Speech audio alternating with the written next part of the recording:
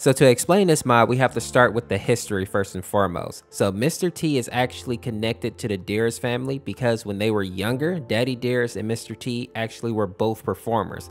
We know that Daddy Dearest was a rock star and Mr. T did some other type of music in Russia.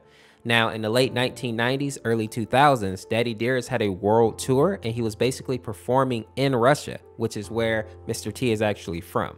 While Daddy Dearest was waiting to go on stage to do his set, he actually met Mr. T, and after they talked and kind of chatted for a while, they actually became very close friends. So much so that when Mr. T would go over to America to perform his stuff, he would always meet up with Daddy Dearest. And they became so close that after Girlfriend was born, Mr. T became like a godfather slash uncle to her, meaning that he would actually treat Girlfriend as if she was his own daughter or his own family. And this explains why girlfriend is so excited to introduce boyfriend to Mr. T or Uncle T as she calls him. And I also want to point out that Uncle T actually greets boyfriend with open arms, unlike Daddy Dearest who still to this day hates boyfriend. This shows that Uncle T is actually a pretty good person at heart but let's talk about what happens to him as the mod goes on. So as you all know, this mod starts off pretty fun, pretty light, kind of like the Garcello mod, right? They are friendly, they're getting along, but then Mr. T starts to have some pain in his chest, and it's assumed that it's just allergies or something like that, which is why he's coughing.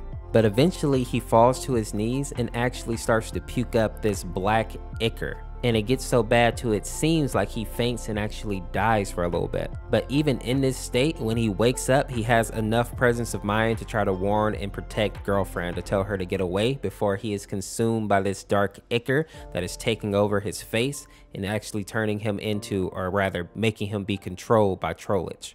And since he no longer has control of his body, he actually attacks boyfriend and girlfriend, but they manage to escape because he ends up slipping on a two liter bottle and the mod ends with girlfriend calling her father to come help, stating that they are somewhere in the Aurora woods. Now, the interesting thing about this ending is that it gives this idea that there's going to be a continuation, and I wonder if we get to see Daddy Dearest be kind of a hero for once instead of being, you know, the evil sucker that we're used to seeing. Let me know what you think about this type of video, and if you would like me to go and explain the actual backstories of a lot of the mods themselves, because I'll be glad to do it if that's something that you guys want to see.